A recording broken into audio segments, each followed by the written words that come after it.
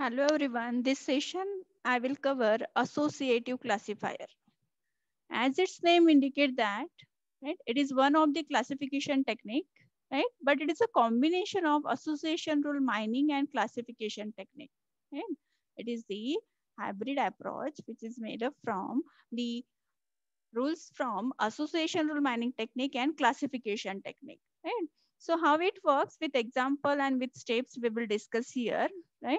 So here, like your supervised learning technique, input to this algorithm will be training data set with the class label, right? So first we, are we will discuss here some of the algorithmic steps that we use to uh, build the model and that model you can use to predict the class of the new query. Right? Only here, here, my additional thing will be what association rules, right? Like your other classification technique, we build model first for, from the given training data set and we use that model to predict the class of the new query. But here, along with this, we find the rules from this training data set and these rules help you to predict the class of the new query. This is the basic behind the associative classifier. So input to this technique is the training data set with the class label. After this, we convert the attribute values of this training data set into the symbol. And for simplicity, for simplicity, because you know your training data set here, my training data set will have the categorical values and we need to convert these categorical values into the symbols for the simplicity. Right? When we discuss the example, uh, we will discuss how we can convert or map these attribute values into the symbol. Uh, for example, here for example, here, if you consider the uh, training data set for the electronic shop store, right? Uh, for predicting whether the customer will buy a computer or not, right? So for this uh, customer, my income will be high, medium, and low, right? So instead of taking these attribute values as it is, we can uh, convert these uh, values into the symbols that is A, B, C, right? And we will convert these attribute values with the symbol into the transactional data set. So next step in this algorithm is what? Convert this rating uh, training data set of symbols into the transactional data set, right? Because in the basic logic, you know that first we apply the association rule mining or a priori algorithm, right? To find the rules and these rules we, we will use to predict the class of the new query right? So definitely we need here transactional data set, right?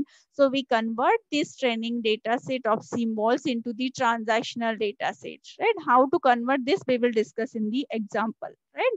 After find after uh, converting the training data set into the transactional data set, we find the frequent item sets using association rule mining algorithm. Uh, you know, a priori algorithm is used right? Any one algorithm you can use. Either you can use a priori algorithm or you can use the FP growth algorithm to find the frequent item set here, right? So from this transactional data set, you can find the frequent item set here, right? Like your a priori algorithm that you learn in the previous session, right?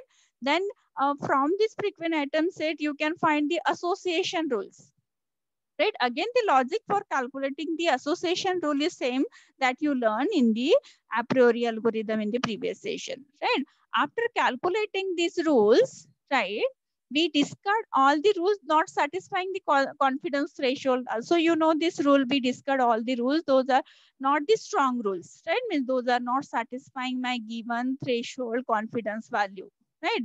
Only we select the strong rules in this step, right? After this step, we replace symbol by the attribute value. In the uh, in this second step, what we have done, we have converted this attribute value into the symbol. Here, you can replace this symbol with the attribute values because we want the original rules here along with the actual given data set, right?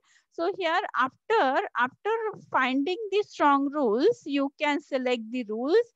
Those are having in the right side, that is class label, right?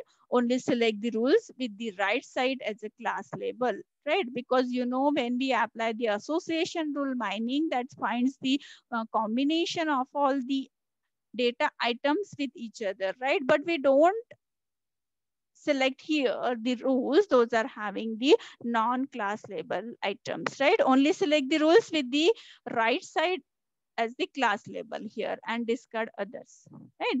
Once you have selected all these rules with the class label as the right side, right?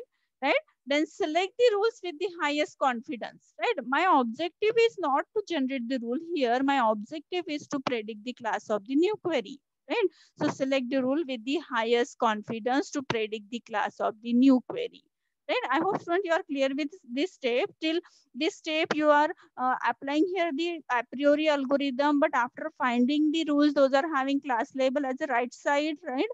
We want to select the rule with the highest confidence. Why? Because we want there can be multiple rules. Those are matching my query criteria but we can't use all these rules right so actually there are two methods to predict the class of the new query. Either you can use your highest confidence uh, method or voting uh, method. Right. So in the highest confidence method, we select the uh, rule with the highest confidence and we check its class label. Right. So, and we assign the class label of that rule as a class label to the query point. In the second method, that is voting method, we check for the majority of the class label. See, if there are 10 rules, those we have obtained in the result, right? Out of these 10 rules, 7 are with the class label S and 3 are with the class label no. Then for these 7 rules, you find the average confidence here, right? For this 7 rule, you can find the average confidence. Also for this three rules, you find the average confidence value and check the majority of the value, highest value. So if for this seven rules, average is higher than these three rules, then we assign the class label of these seven rules as a class label to the query point.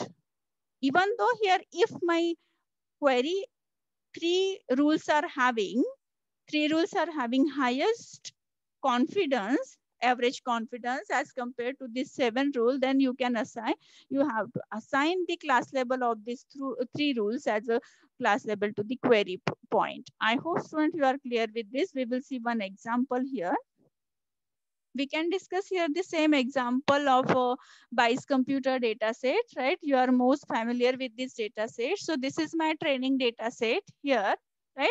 See, along with this training data set, what else is given in the uh, problem statement? You can read here problem statement given the training data set of electronic shop store that is buys computer data set, build an associative classifier model by generating all the relevant association rules with support and confidence threshold you know in the association rule mining we need uh, the threshold values of uh, support and confidence also in this uh, problem statement threshold and confidence are given so what threshold is given 10 percent support and 60 percent confidence, right? So all the frequent items say those are satisfying this minimum support value. We will select as a frequent item set and all the uh, uh, rules, those are having a confidence equal to and more than 60% we select in the result here, right? Then classify uh, what else is given in the problem statement. Classify using this model, the new example.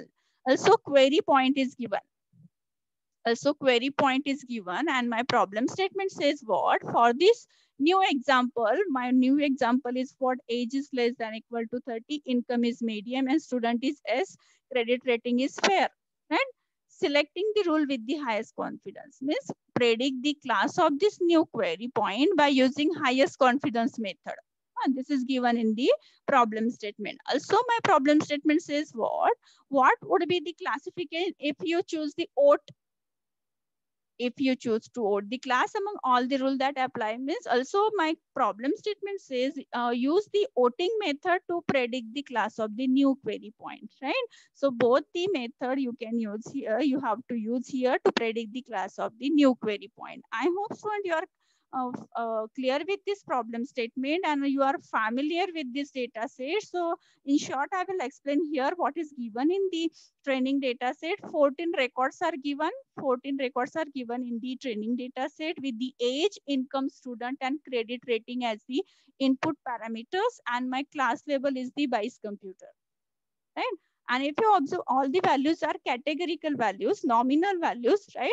So here there are three categories of age, First category is less than equal to 30. Second category is 31 to 40 and third category is greater than 40. Right? So my customer can be of one of the category, right? And second attribute is my income with the three category high, medium and low, right?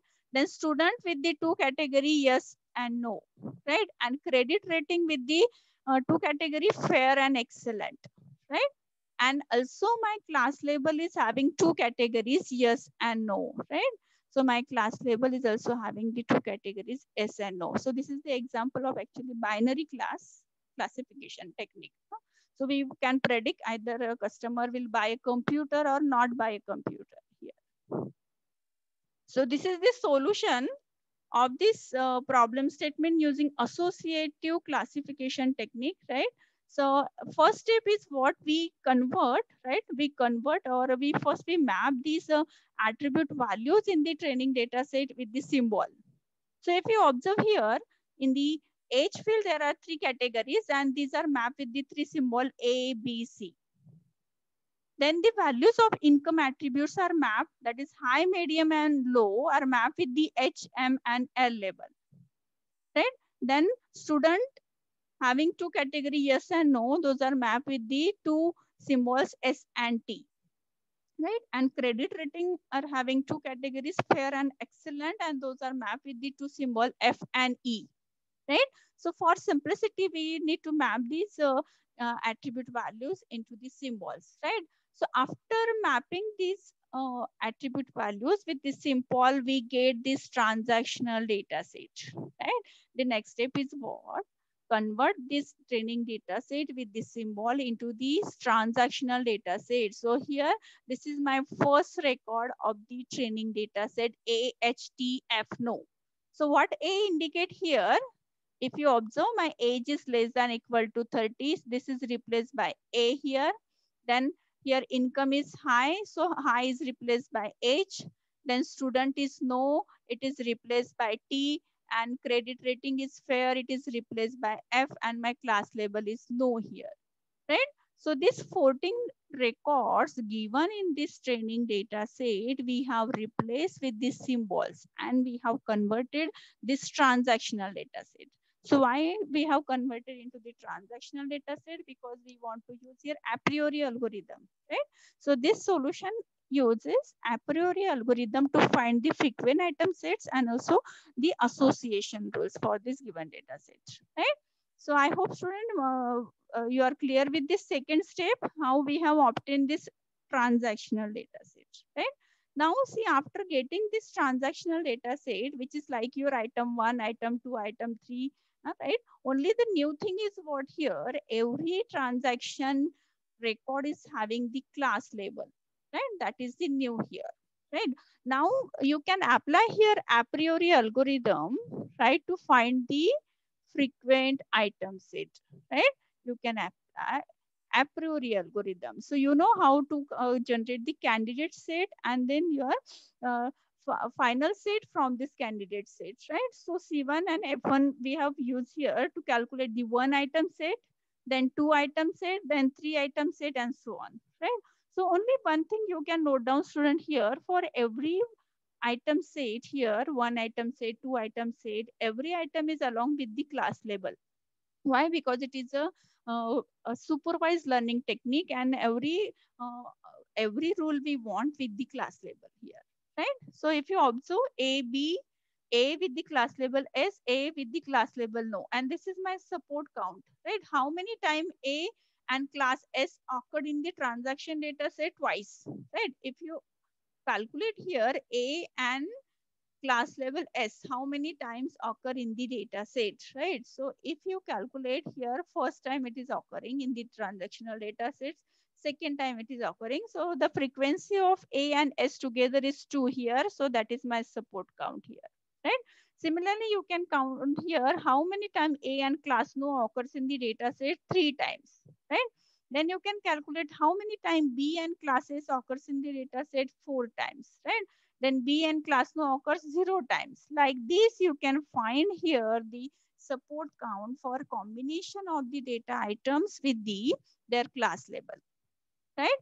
So here, uh, this solution shows this uh, C1 candidate set, that is one item set.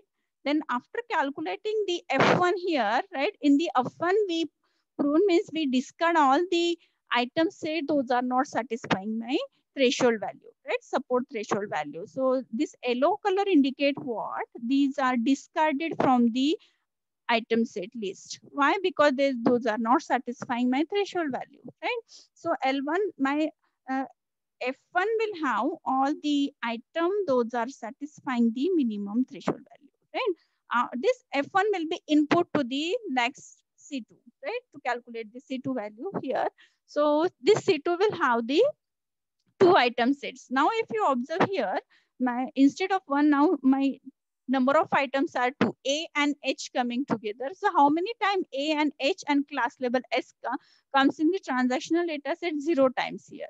Then A, H with the class no, two times. Then B, H with the classes two times, right? Similarly, you can calculate this combination for all the items in the data set. One thing you can note down student here, my A, you know that age is categories are represented by three symbols A, B, C. So these three symbols never be together. Why never be together? Because your customer will be either of this age category or this category or this category. So A, B, C we never take together, right? The symbols of the same attribute we never take, together in the frequent item set. I hope you are clear with this why A and B will never be together because either your customer will have age less than 30 or it will have the age between the 31 to 40 category. Right? And that's why if you observe the solution, these symbols never be together here in the solution. Right? Again, we apply here the same procedure like your C1, right? We discard the items, those are not satisfying the minimum support. So this yellow color indicate what? Highlighted item set indicate that these are not satisfying the threshold value and discard from the data set, right? So only we will select in the next step all the item set along with their class label. Those are satisfying the minimum support value, right? Then we calculate here, after this step, we calculate the C3. Again, we will repeat the same procedure. Only my number of items will be three here. So here AHT, what it will indicate? My age is A, my income is high. A means what? Less than 30 actually. When age is less than 30, income is high and student is no, my class level is no, then this combination is occurring how many time in the data set? Twice. This is the support count, right? Similarly, we will find these uh, support count for all the three combination of these data say uh, data symbols in the data sets, right? For both the class label yes and no. And maybe discard all the items, those are not satisfying the minimum support value, right? So finally, we will get here all the frequent item set, three item set. And for this example, there is no C4 candidate set, right? I hope students you are clear with this. After this uh, step, that is finding the frequent item set, the next step is to calculate the classification rules, right? To find the association rule and by using this association rule, predict the class of the new query, right? So you know how to find the association rule. Already you have learned this method in the a priori algorithm, right? So, you know, all the possible association rule you find here from the given frequent item set, right? So here one I will discuss with you for your understanding, right? So this rule says what? Whenever item A, H and T are together, my class label is no. Means what, right? In the in this step only we replace this symbol by the actual attribute value. Right? So after replacing this symbol with the actual attribute value, we will get this rule from this data set. What is this rule says? When age is less than equal to 30 and income is high and student is no, my class is no. And if you calculate its confidence, you will get here 100%, right? For this rule, my confidence is 100%. We can include this rule in the result. Right? Similarly, you can find out the other rules here, right? ATF, whenever ATF is together, class is no. Means age is less than equal to 30 and student is no and credit rating is fair. My class is no. For this rule, my confidence is 100%. Calculated confidence for this rule is 100%. Again, it is an example of the strong rule, right? So like this, you can find out all the rules for from this frequent item data set, right? And in the next step, my what is my next step here to predict the class of the new query? So how might these rules will help you to calculate the class of new query? So there are two methods, either use high confidence, uh, highest confidence rule to predict the class of new query or use the voting method. So if you observe here, my new query is age is less than 30, income is medium and student is yes and credit rating is fair. This is my new query. For this query, if we observe there are nine rules that satisfy the criteria of this query. In the output of the association rule mining method, right, there are nine rules. Those are satisfying the criteria of my new query, right? So here they are ranked by confidence, right? You can rule uh, rank uh, these nine rules as per their confidence value and choose the rule those are having the highest confidence, right? So if you observe here, if you rank this here, first we are having here now 100 confidence, then it is 85.7 confidence. Fourth rule is having 75 confidence, then next is having 75, then 66, 66. Like this, you can rank all this confidence. And if you see here, the first rule with the highest confidence is what? Having the class label S. So my new query point will belongs to the class label S. My new query point class label is assigned with the S category. Right? This is my first method. Right? The highest confidence rule predicts that my class label is S for the given new query. Right? That is, uh, it says what? My buys computer decision will be S for the given query point. Huh. Now another method is what? Voting method in the voting method, if you observe seven rules are predicting the class level S. Out of these nine rules, seven rules are predicting class level S and only two are predicting here class level no. And if you combine the confidence of these seven rules, if you take the average of the uh, uh, confidence of this seven rule, you will get here 81.27% confidence. And for these two rules, my average value is 63.3. So which is having the highest average confidence, that is the uh, first seven rules, right? These seven rules, whose class label is S. And we would here in that case predict that buys computer is S for the new query, right? So I hope students you are clear with this. Thank you.